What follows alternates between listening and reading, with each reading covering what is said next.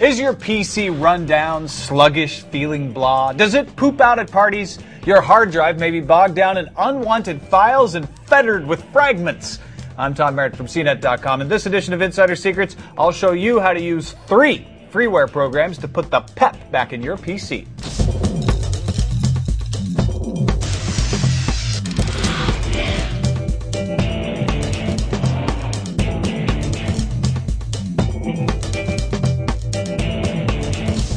Thanks to the folks over at download.com for tipping us off to some of the apps I'm going to show you. We've got three parts to a clean and tidy hard drive. Part one, get rid of unwanted files and programs.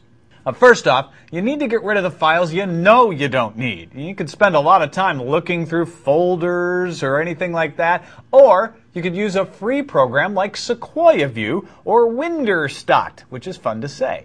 Sequoia View maps out your entire hard drive as a pastiche of colors, separated into blocks. The blocks show you what fields are taking up what space, and you can manipulate the files from the Sequoia View map. WinDirStat works in a similar way, but has an immediate delete feature that bypasses the recycle bin.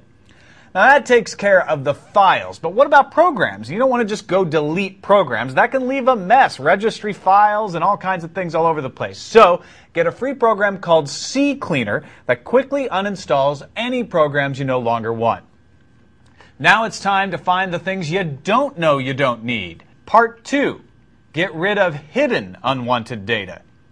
CCleaner comes in handy here too. It also detects and removes things like application data for uninstalled programs, temporary internet files, or Windows log files.